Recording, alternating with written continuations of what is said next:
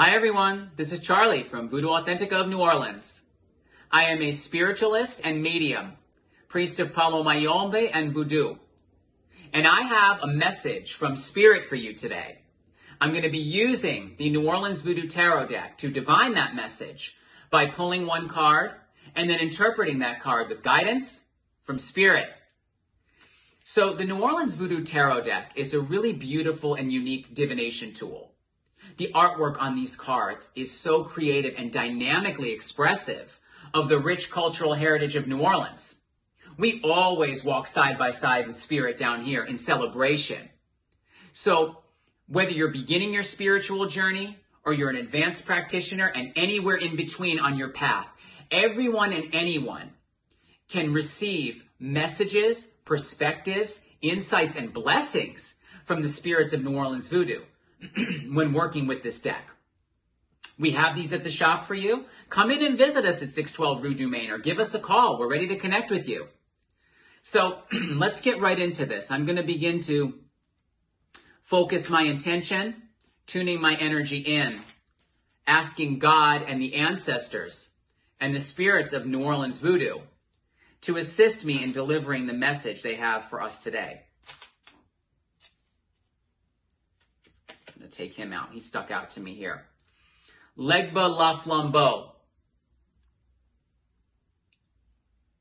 This is a very dynamic card. Legba La Flambeau is cutting through the confusion. He's challenging us to be very discerning in terms of what we internalize from the outside world. Radio waves, airways, communication. We're in a time of chaos and uncertainty and we're inundated with technology and information. Some of it can be considered to be productive. Some of it can considered to be very confusing. Legba's challenging us to look at things with a broader perspective of discernment. What can we experience in the world and cut through to the truth of? Some things can be confusing, some things can be productive, but we must be able to be discerning in what we listen to, in what we believe, in what we interpret, in all this information that's bombarding us right now. We're more connected to technology than ever before based on quarantine. So be very clear. Legba is here to cut through confusion and bring clarity and individual perspectives, the power of discernment. What is true for you? What is not true for you? When you read an article or hear a news report, can you read between the lines and say, maybe that's to be considered by me, but maybe I won't allow it to build up into my head as confusion, fear, and anxiety. Maybe I can dispel that before it even sets in.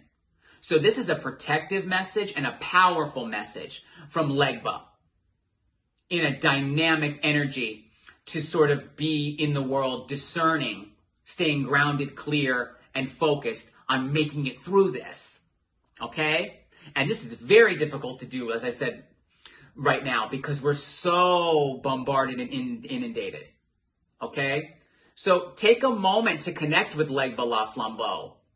Okay? Think about the messages he provided. I certainly am, and I hope that was helpful for all of you.